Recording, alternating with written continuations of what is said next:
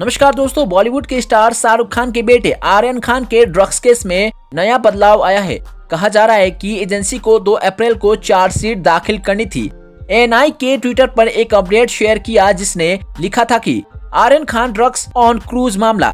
NCB की SIT ने मुंबई सत्र न्यायालय से दायर करने के लिए 90 दिन का अतिरिक्त समय मांगा। इस मामले में 2 अप्रैल तक चार्जशीट दाखिल करनी थी। ड्रग्स का मामला एनसीबी की एसआईटी को दे दिया गया है। और आर्यन खान को मामले के सिलसिले में हर शुक्रवार को एनसीबी मुंबई कार्यालय में अपनी उपस्थिति दर्ज करने से मुक्त कर दिया गया है। न्यायमूर्ति एन डब्ल्यू सांबरे की एकलपीठ ने कहा कि आर्यन खान को जमानत देते समय लगाई गई शर्त को संबोधित किया गया है कि उन्हें हर शुक्रवार को एनसीबी ऑफ़िस में पेश होना होगा। आर्यन को किसी भी आरोपी से मिलने की इजाज़त नहीं है, जिसमें उसका दोस्त अरबाज भी शामिल है। उन्हें अपना पासपोर्ट भी सरेंडर कराना पड़ा है। अक्टूबर 2021 में आर्यन को उनके दोस्त अरबाज मर्चेंट और मुनमुन धमूचा के साथ गिरफ़्तार किया गया था, जब एनसीबी ने एक क्रूज पर छापा मारा और एक ड्रग पार्टी का भंडाफोड़ किया था। छापामारी का नेतृत्व एनसीबी अधिकारी समीर वानखड़े ने किया था। 25 दिन जेल में बिताने के बाद आर्यन को बॉम्बे हाईकोर्ट ने जमानत दे दी थी। उनकी जमानत याचिका पहले एक सत्र अदालत और एक विशेष एनडीपीएस अदालत ने खारिज कर दी थी।